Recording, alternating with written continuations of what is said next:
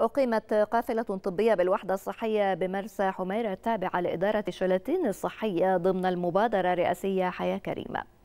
وقامت القافلة بتوقيع الكشف وصرف العلاج لعدد 89 حالة بمختلف التخصصات الطبية وتم إجراء جميع الكشوفات والفحوصات وصرف العلاج بالمجان وذلك لضمان وصول الخدمة الطبية لجميع أهالي قرى ومدن محافظة البحر الأحمر.